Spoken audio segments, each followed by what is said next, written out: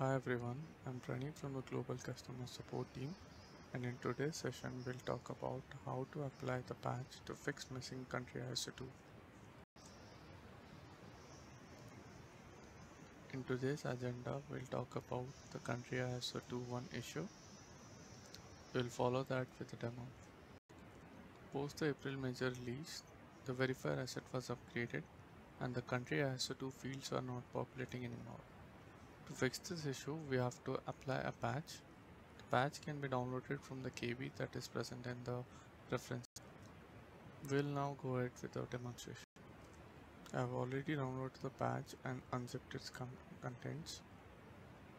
We'll now trigger the script.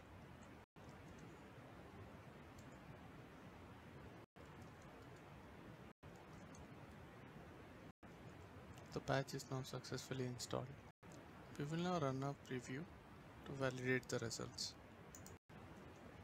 As you can see, the country ISO 2 field is now populating value. For more details, you can refer to this KB. We would love to hear your feedback. You can contact us on supportvideos at informatica.com or on our Twitter handle. Thank you.